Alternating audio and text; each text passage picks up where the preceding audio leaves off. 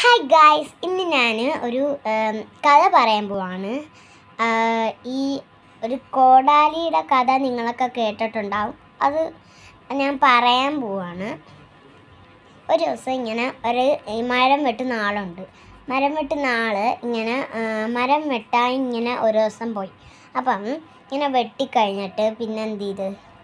ഒന്നും ചെയ്തില്ല. അവ അവർ പോയി വീട്ടിൽ പോയിട്ട് എന്ത് പിന്നെ രണ്ടാമത്തെ ദിവസം പോയിട്ട് ഇങ്ങനെ രാത്രിയായി. മരം വെട്ടുമ്പോൾ രാത്രി ആവത്തില്ലേ?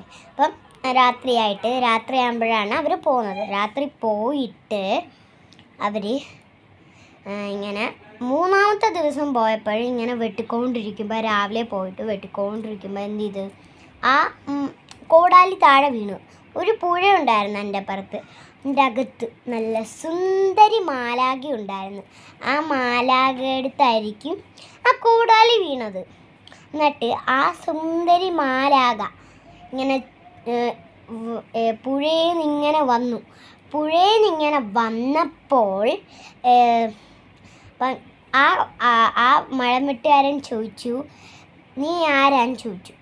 ഞാ അവൾ പറഞ്ഞു ആ സുന്ദരി മാലാഖ പറഞ്ഞു ഞാനൊരു സു ഒരു മാലാഖയാന്ന് പറഞ്ഞു. അപ്പം നീ അപ്പം ആ കോടാലി വെട്ടുന്ന ആൾ മരം വെട്ടുന്ന ആൾ ഇങ്ങനെ ചോദിച്ചു. എനിക്ക് എനിക്കൊരു സഹായം ചെയ്യുമോ എന്റെ കോടാലി പുഴയുടെ അടിയിൽ വീണുപോയി. അത് ഒരു ഒന്ന് എടുത്ത് തരുമോ എന്ന് എന്ത് ചെയ്ത് ആ മാല എടുത്ത് ചോദിച്ചു. ആരാ? ആ മരം വെട്ടുകാരൻ ചോദിച്ചു. ഇങ്ങനെ ചോദിച്ചപ്പോൾ എന്ത് ചെയ്ത് അടി പുഴയുടെ അടി പോയി ആ മാലാക എന്ത് ചെയ്ത് പുഴയുടെ അടി പോയി ഇങ്ങനെ ഒരു വെള്ള കോടാലി ഇങ്ങനെ എടുത്തുകൊണ്ട് വന്നു. അതാണോ നിന്റെ കോടാലി എന്ന് ചോദിച്ചു. അപ്പോൾ പറഞ്ഞ് അല്ല ഇതല്ല എന്റെ കോടാലി എന്ന് പറഞ്ഞു. അടുത്തത് ഒരു ബ്രൗൺ കോടാലി എടുത്തുകൊണ്ട് വന്നു. അതാണോ? അപ്പം എന്നിട്ട് ഇങ്ങനെ അതാണോ നിന്റെ കോടാലി എന്ന് ചോദിച്ചു.